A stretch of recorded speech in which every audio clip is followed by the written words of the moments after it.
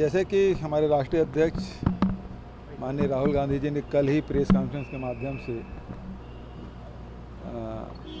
बातें कही थी और उन्होंने ये भी कहा था कि अपनी बात मैं कार्य समिति में रखूँगा और कल कार्य समिति की बैठक आयोजित की गई है और उसमें जितने भी कार्य समिति के सदस्य हैं उसे बुलाया गया है उसमें मैं भी जा रहा हूँ। आप अपनी ओर से भी कुछ प्रदेश की रिपोर्ट ले रहे हैं क्या? जो बात पार्टी के मंच में मुझे कहना है वो मैं कहूँगा। अच्छा एक चीज़ दिग्विजय सिंह ने कहा है सर दिग्विजय सिंह जी ने कहा है कि ये जो जीत हुई है ये महात्मा गांधी के हथियारों की आइडियोलॉजी की जीत हुई है।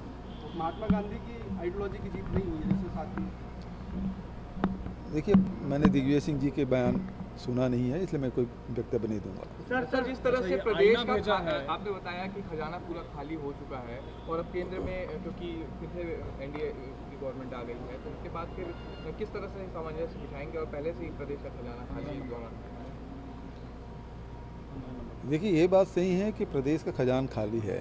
भारतीय जनता पार्टी की सरकार ने या रमन सिंह ने कमीशन खोरी के चलते पूरा खजाना खाली कर दिया और कर्जे में डुबो दिया है। लेकिन उसके लिए रास्ता निकालेंगे।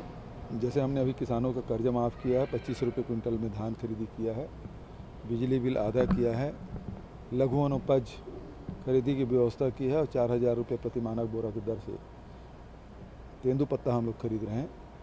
आगे भी व्यवस्था होगी विकास कार्य में कहीं रुकावट नहीं आएगी। ने आरोप लगाए हैं।